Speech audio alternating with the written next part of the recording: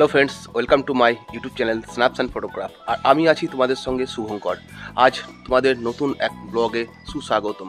আজ মহাষষ্ঠী, তাই তোমাদের জানাই আমার তরফ থেকে আন্তরিক প্রীতি ও শুভেচ্ছা ও ভালোবাসা ও অভিনন্দন।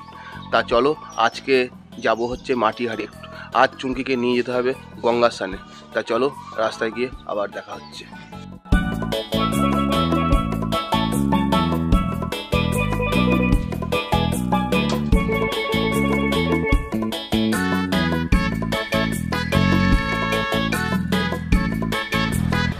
আর এই রাস্তা দিয়ে দুটো গঙ্গার ঘাটে যাওয়া যায়। এই বাদিকে ঢুকে গেল হচ্ছে মাটিয়ারি আর সোজা গেলে যাওয়া যেত বল্লভপাড়া ঘাট মানে কাটুয়া ঘাটে।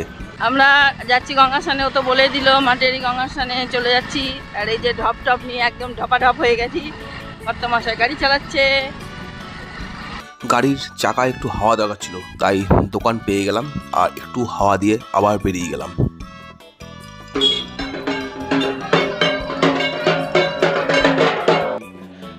এই বন্ধুরা, তোমরা দেখতেই পাচ্ছ, আমরা এখন যখন পৌঁছে গেছি মাটিয়ারি ঘাটে, এটা হচ্ছে মাটিয়ারি গঙ্গার ঘাট, আর এখানেই ঠিক করলাম, এখানেই স্নান হবে। আমার খুব ইচ্ছা হচ্ছে এই নৌকাটায় একটু উঠতে। হুম, এত সুন্দর নৌকা, একটু প্রচুর বলে, বোতল নিয়ে এসছে। গঙ্গা জল ফুরিয়ে যাবে, ও যা ঢপ নিয়ে এসছে। এ দেখো একটা ষোলো লিটারের ঢপ, আর এদিকে এই অবস্থা দেখো। এই চুমকি এখন ভাবছে, নামবো কি, নামবো না। আমরা এখন এই ঘাটে স্নান করব না। এই ঘাটটা ঠিক পরিষ্কার লাগছে না। সব নানা রকম নোংরা জিনিস ভাসছে। তা আমরা এখান থেকে বেরিয়ে যাব অন্য ঘাটে। এটা এক অন্য ঘাট, যে ঘাটে চুমকি এখন নামছে। বেশি দূর নামবা না কিন্তু। আর গঙ্গার চারিপাশে চারিদিকে কাশফুলে ভর্তি। খুব সুন্দর লাগছে এই দৃশ্যটা।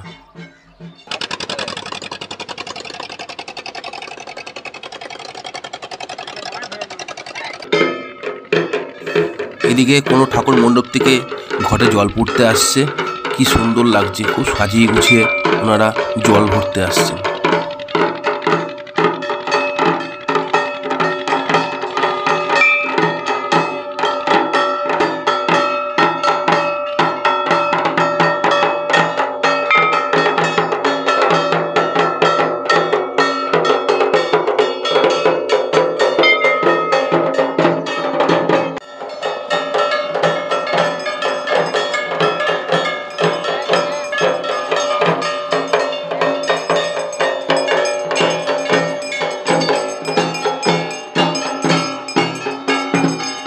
অবশেষে আমাদের গঙ্গা স্নান পূর্ণ হলো। চুমকি গঙ্গা স্নান করল।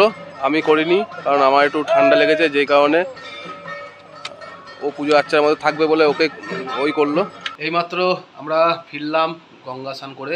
আমি করিনি, চুমকি করেছে আর বেশ অনেকক্ষণ সময় লাগল।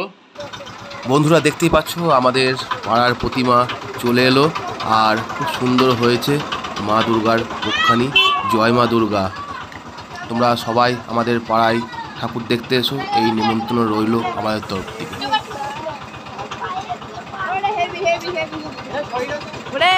পাড়ায় প্রতিভা প্রবেশ করার পর বাবাকে নিয়ে ঠাকুরটা দেখে নিলাম।